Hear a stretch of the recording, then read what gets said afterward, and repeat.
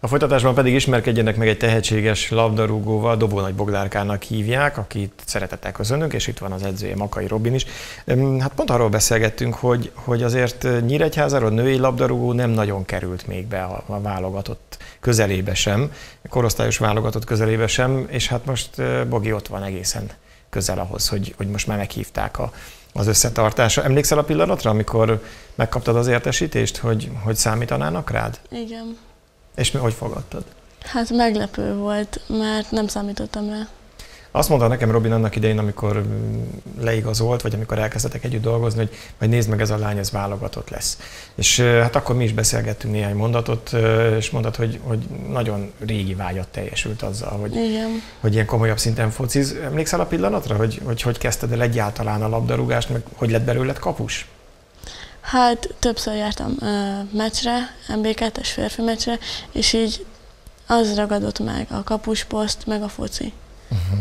Furcsa, nem, hogy a lányok így, így beleszerettek a fociba, pont a kapusposzt, mert mindig azt mondják, a kapusposzt az egy kicsit más, mint a többieké. Ja, az a célotok, hogy elrontsátok másiknak a, a, a játékát, de nagyon nagy rajtatok a felelősség is, ugye? Tehát azért teljesen más, mint egy, mint egy mezőnyjátékosnak lenni. Hát igen.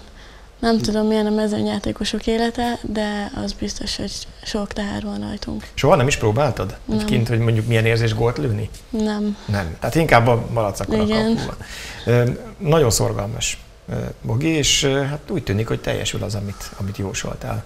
Igen, tényleg tehetséges lányról van szó. Ugye róla tudni kell, hogy elég sok áldozatot is hoz azért, hogy ugye bekerüljön az országnak ebbe a ha lehet ilyet mondani, a szűk elitjébe, mert azért ő iskolát váltott, amiatt, hogy napi szinten rendszeresen tudjon ugye az edzéseken részt venni.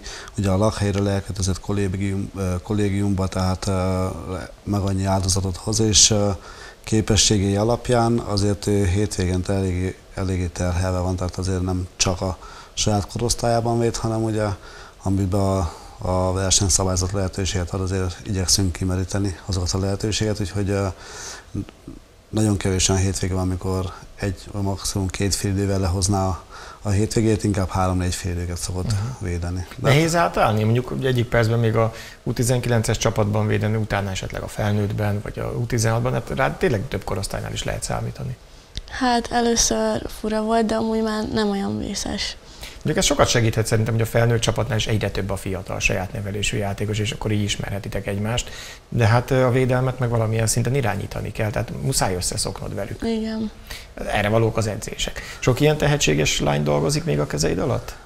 Ö, igen, hál' Istennek azt, a, azt el tudjuk mondani, hogy a tavalyi évben sikerült beindítani a kiemelt képzési központot itt a Nyíregyházi utánpótlás nevelésbe női vonalon, és olyan tehetségek bukkantak fel, mint például Bogi, de lehetne mondani az a 14-es korosztályból a a Tuza Petra, Katona Flóra, Cvik Petra, Szabó Jászmin fémelezte négyest, ők a, a régiós válogatottnak a szűkített kerettagságával büszkélkedhetnek már, úgyhogy azt gondolom, hogy ilyen szempontból a megkezdett út az, az pozitívnak mondható.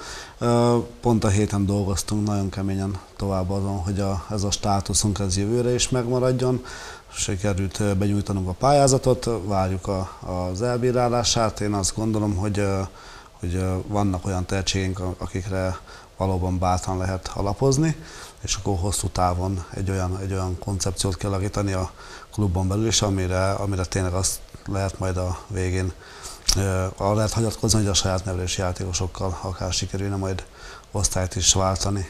Nagyon furcsa, mert mondjuk 10-15 évvel ezelőtt a női focira, már bocsánat, csak így legyintettünk, hogy jó, hát jó. És aztán az elmúlt években valami hihetetlen fejlődésen ment. Tehát most például BL döntő lesz Budapesten női labdarúgásban, és Ma már talán nyugodtan mondhatjuk, hogy, hogy egyenrangú félként kezelik a, a női focit, legalábbis Európa nagyobb országban, Németországban, Franciaországban.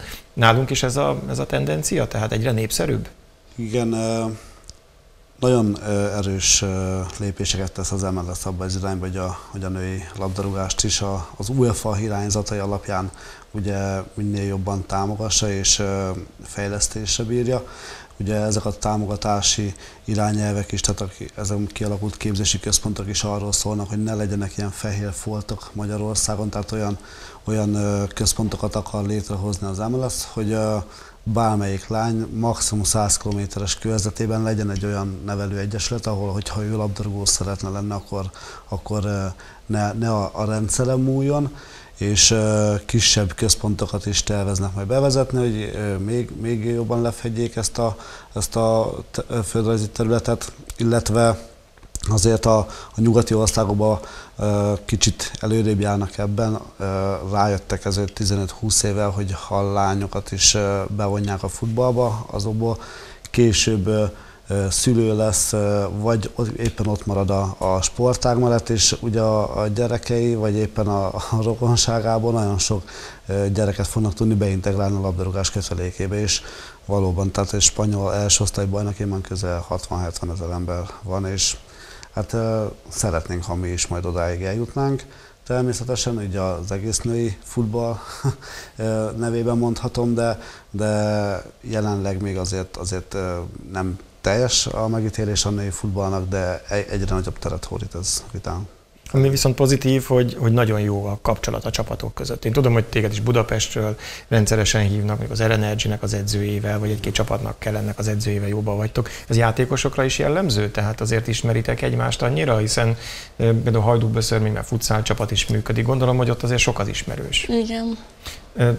Akkor ezek szerint sok áldozatot hoztál, jól emlékszem, te is ott kezdted el, ugye, a, a focit? Igen. És akkor most váltottál, és akkor Igen. most már Nyíregyháza? Igen. Ez lett a, a lakhely. Öm, apukád mit szólt hozzá? Gondolom ő nagyon büszke, biztos ő vitt először a foci meccset.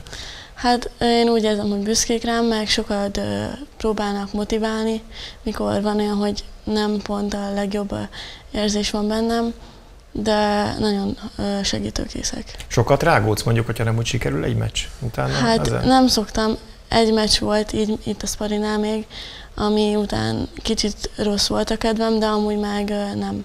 Uh-huh. Hát és ilyenkor jönnek a csapattársak, meg a szülők gondolom, Igen. akik segítenek, meg esetleg az edző is, hogyha már végképp nem megy. Köszönjük szépen, hogy itt voltatok, gratulálunk neked, és hát sok sikert akkor a, a válogatottnál is. Igyekszünk majd nyomon követni természetesen, hogy hogy alakul a pályafutásod. Robin, neked meg sok hasonló tehetséget akkor a folytatásban. Szombaton bajnoki. 16 óra volánpálya? Így van. Hogyha valaki szeretne női focit élőben látni, akkor az most megteheti, nem is egy rossz ellenfél érkezik.